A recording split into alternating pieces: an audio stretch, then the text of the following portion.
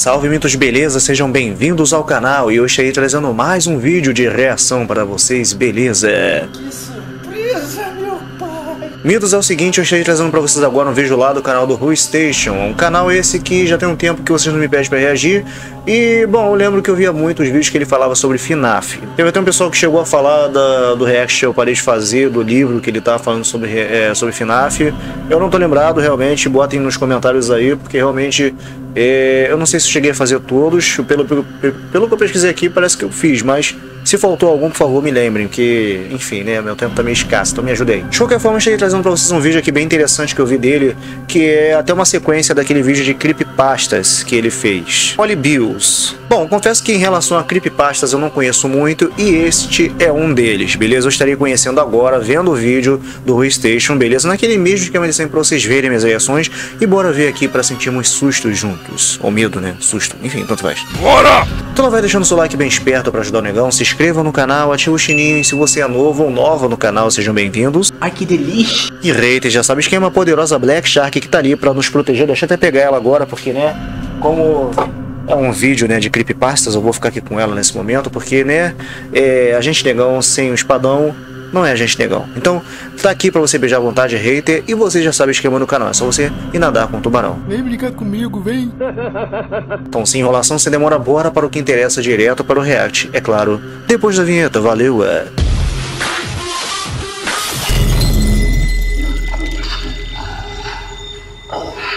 Alexandre na área.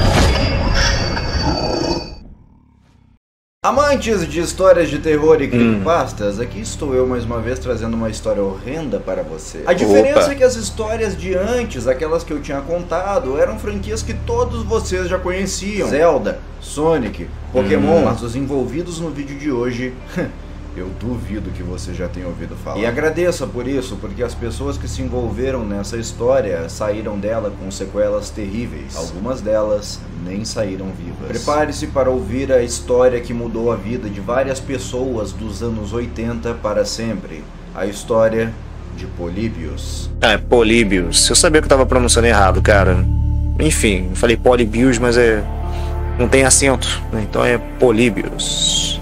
É muito provável que você nem sequer tenha ouvido falar sobre esse nome Políbios até hoje. Se você jogar esse Não. nome no Google agora, vai encontrar um jogo na Steam com o mesmo nome. Porém, não é desse jogo que nós estamos falando. Sim, Hum. Políbios era um jogo, mas um jogo totalmente diferente daqueles que você está acostumado. Tudo teve início nos Estados Unidos no ano de 1981. Naquela época, como já é de se esperar, os videogames ainda estavam engatinhando em direção à vida das pessoas. Não existia internet. Ter videogames em casa era basicamente algo que só pessoas milionárias podiam se dar ao luxo de ter. Por isso, uma coisa que estava muito em alta naquela época eram os fliperamas, aqueles videogames gigantes que as pessoas precisavam colocar fichas para jogar em pé. Ah, só de lembrar dos fliperamas. Quanto tempo eu já gastei naqueles fliperamas gigantescos jogando.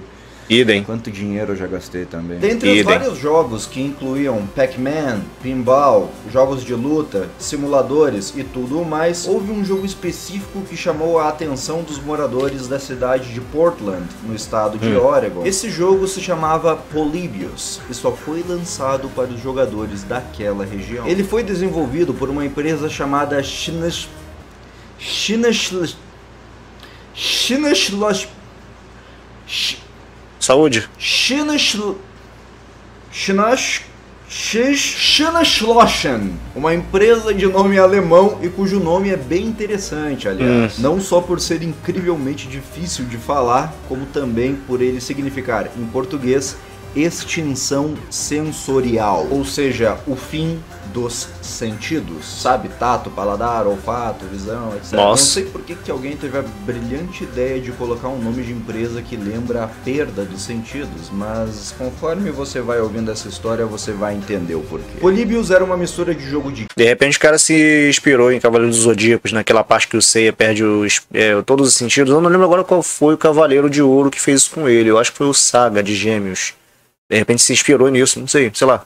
Tiro com puzzle e foi lançado somente para alguns fliperamas. E o que chamava a atenção naquele jogo era justamente o número de pessoas que jogava. O jogo só foi lançado na cidade de Portland e mesmo assim pessoas de outras cidades iam até lá só para poder jogá-lo. Filas enormes eram feitas nos fliperamas da cidade e em algumas situações as pessoas chegavam até a brigar entre si para decidir quem jogaria primeiro. Nossa. Era disparadamente o jogo mais jogado da cidade, que por algum motivo não saía da cidade de Portland. As pessoas estavam definitivamente viciadas em Polybius, mas logo logo algumas coisas muito estranhas foram sendo sentidas por aqueles que jogavam. Algumas pessoas relatavam que certas vezes, enquanto eles jogavam Polybius, eles conseguiam ouvir de algum lugar um som que parecia uma mulher chorando. Outras pessoas relatavam que enquanto a Nossa. Caraca. Uh. Cara, deu um arrepio. Não, sério, tô falando sério. Não é não zoação não, me deu arrepio. Na hora que ele botou esse efeito sonoro da mulher aí, eu pensei que era aqui, mano, de boa. Mas é que esse fone aqui, ele tá fincado aqui na minha orelha, tá ligado? Então ficou bem nítido. Então, caraca. Uh! Mano, espada do negão, fica aqui. Visão deles estava focada Quero. no jogo, à sua frente era possível ver no canto do olho figuras que lembravam rostos horríveis, daqueles que Nossa. se viam em filmes de terror e que apareciam durante flashes rápidos. Eram coisas estranhas que poucos jogadores notavam e que mesmo Sinistro. assim não comprometiam a popularidade do jogo. Até que efeitos colaterais começaram a serem sentidos. Depois de algum tempo, vários jogadores começaram a ter a sua saúde prejudicada por vários motivos diferentes. Aparentemente, por causa do jogo. Alguns desses sintomas envolviam tonturas, amnésia, insônia, pesadelos, medo de dormir e, em alguns casos mais extremos, algumas pessoas teriam até mesmo cometido suicídio. Outras rapaz. pessoas simplesmente decidiram do dia pra noite pararem de jogar videogames. Alguns foram ainda mais radicais e aderiram a campanhas que queriam extinguir os videogames pelo mundo. Em questão de poucos dias depois da chegada do Polybius, a vida de várias pessoas de Portland mudou radicalmente. Ninguém sabia o que estava acontecendo, mas teve um relato que ajudou a colocar luz nessa situação toda. Basicamente, esses fliperamas ficavam em casas de fliperamas, lugares onde as pessoas iam até lá para poderem jogar. E um dono de uma dessas casas de fliperamas fez um relato muito interessante acerca do Polybius. Ele comentou que alguns dias depois da chegada do fliperama ali naquele lugar, alguns homens vestindo ternos pretos chegaram até o local e começaram a fazer perguntas de sobre. Polybius. Aparentemente, eles estavam envolvidos com os donos daquele fliperama e queriam coletar informações diretamente do aparelho. Porém, para surpresa do dono daquele lugar, aqueles homens de terno não estavam nem um pouco interessados no dinheiro que aquele fliperama havia coletado. Para pra pensar, um fliperama que foi um sucesso estratosférico, que as pessoas não paravam de jogar, formavam fila, até brigavam para jogar, deve ter coletado uma quantidade de dinheiro que não é brincadeira, não é verdade? Então é óbvio que eu, você e qualquer outra pessoa com o mínimo de consciência ia querer botar a mão naquele dinheiro menos aqueles caras. Eles não queriam saber de nenhum dinheiro que aquela máquina havia coletado depois de semanas de pessoas jogando ele. Dinheiro para aqueles caras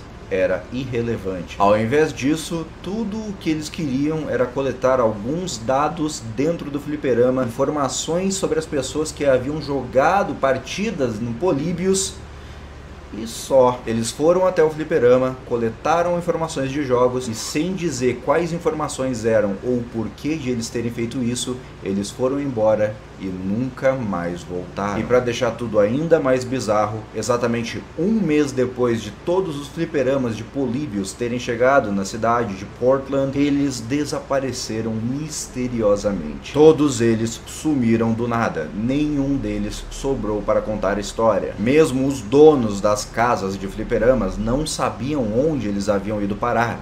Eles simplesmente sumiram. E para explicar toda aquela situação, teve uma teoria muito forte que apareceu anos depois desses acontecimentos. Essa teoria dizia que Polybius não era um simples jogo qualquer, mas sim um experimento, um experimento que teria sido conduzido pelo governo dos Estados Unidos. Políbios teria sido um jogo criado pelo governo para testar o poder de mensagens subliminares nos seres humanos. Eles teriam incluído no jogo diversas mensagens subliminares, como o choro feminino e os rostos terroríficos, para que as pessoas jogassem e recebessem essas mensagens em seus cérebros inconscientemente. Os habitantes da cidade de Portland teriam sido escolhidos como cobaias sem nem mesmo saberem que estavam sendo testados. E alguns dias depois, os agentes do governo teriam ido até esses fliperamas e coletado as informações de jogatinas daquele período. Assim,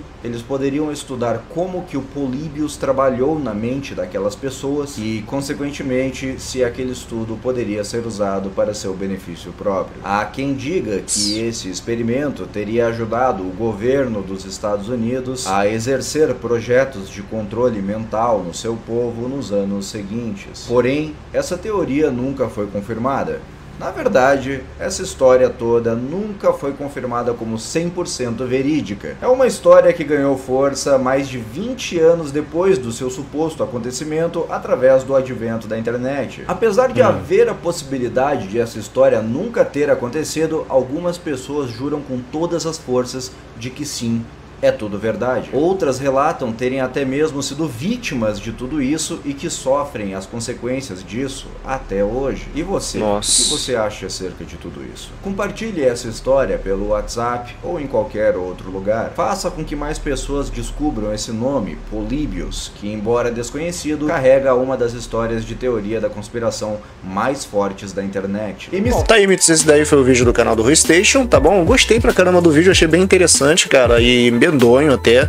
Mano, é, assim, como eu falei pra vocês, eu não conheço uh, muitas histórias de creepypastas, e essa daí é uma, era uma delas, agora eu conheço, né? Eu, talvez pode ser que não, ele não tenha dado todas as informações, porque, pô, em vídeo de menos de 10 minutos eu sei que não tem todas as informações em relação a esse fato, mas, cara, eu achei bem interessante.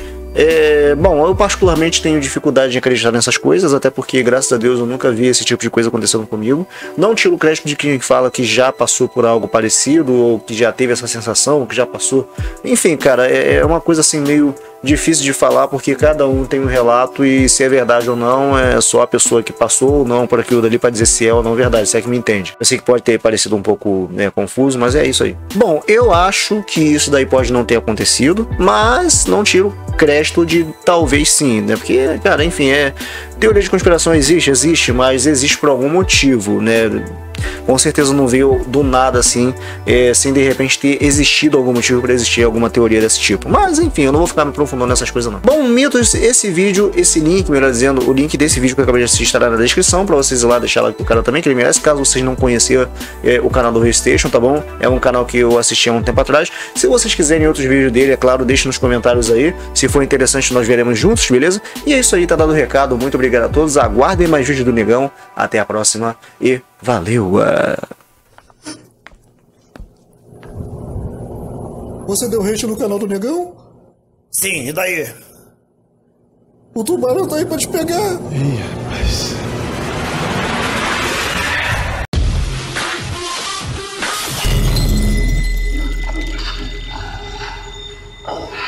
Alexandre na área.